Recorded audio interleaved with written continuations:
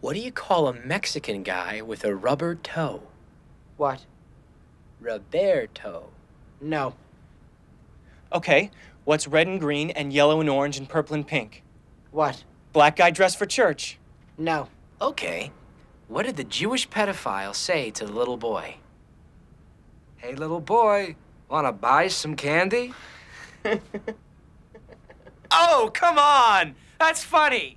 He wants to fuck the kid, but he's too cheap to give him the candy. It's a classic. It's not a classic. It's bullshit. Not all Jews are cheap. Cheap? That's the part of the joke that offends you? The, the, the cheap part? Yes. It's okay that he's a pedophile. He just can't be a cheap pedophile? Yes. Explain that one. There's no stereotype of Jews as pedophiles. So to say that this particular Jewish person is a pedophile does nothing to perpetuate false generalizations about the Jewish people. Now, saying that they control the media or that they're cheap, on the other hand, is offensive. So he could diddle little boys as long as he pays retail for them?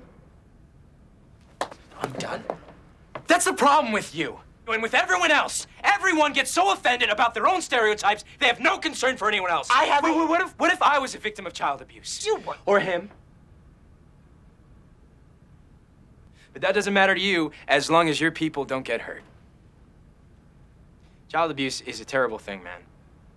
It tears families apart. Do you even know what the number one cause of pedophilia is? What? Sexy kids. That's it. Go fuck yourself. Oh, come on! We'll never work in this town again. Oh, yeah, like you're the one that controls the media! I have relatives. Oh, hey, it's okay. They don't really control the media.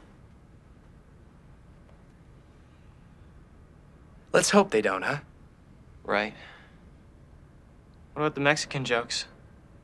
Oh, that's fine. They don't control anything.